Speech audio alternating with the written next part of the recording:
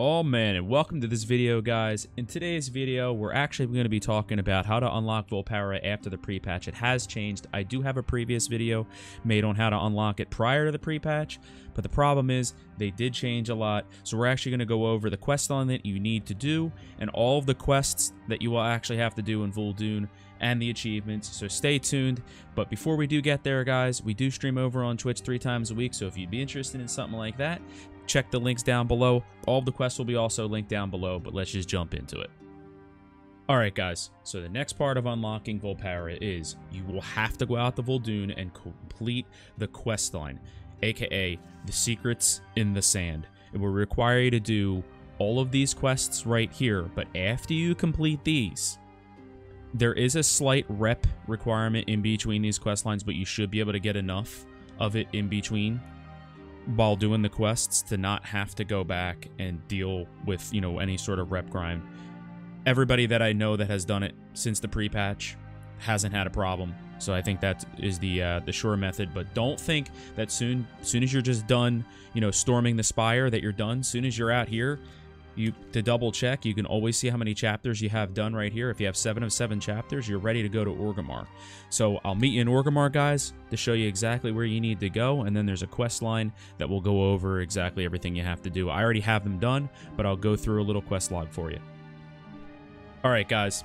So after getting the secrets in the sand completed, you're going to have to come to Orgrimmar. So press M on your map when you're in Orgrimmar, and you're going to have to go to the Orgrimmar Embassy and talk to Ji Firepaw. So you're going to fly on over there. If you don't have flying, just ride in over there. But I highly recommend getting flying. It really, really helps. You're going to pick up a quest from him that starts with guests at Grommash Hold. It's going to send you back over to the War Chief over here. I've already completed these quests, so I can't show you exactly the way the quest line goes without, you know, I don't have the exact film of that. But you're going to fly over to here, and you're going to start the quest line that will send you on your way to uh, Twilight Highlands and you'll do a bunch of other quests. We're going to go over that. I'll meet you in Twilight Highlands. All right, guys. Once you're out in Twilight Highlands, you're going to start a quest line. It's going to start with a declaration of intent. Then it's going to go into new allies, new problems, no problem, too small. Where are the workers? A little goodwill, worthwhile repairs, peon promotions, a party in your honor, strength and honor. Job's done. On the outskirts, explosions always work.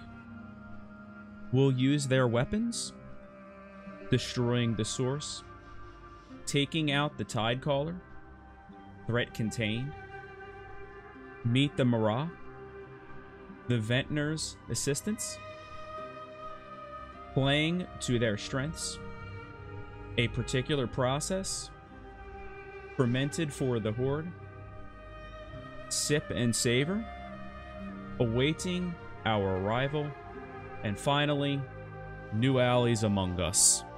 Once you get to that point, guys, all you're going to have to do is go back to Orgrimmar, unlock your Vulpera, talk to the War Chief, and you're on your way. All you're going to have to do is go back, go create your Vulpera, and you're there. Seriously, guys, thanks for watching. I really hope you enjoyed this video. I tried to make it, keep it really super short. But um, if you really like the video, please consider subscribing and uh, hitting that like button. And let me know what you think in the comments down below. But I really hope this helped out, guys. But until next time. Oh, my.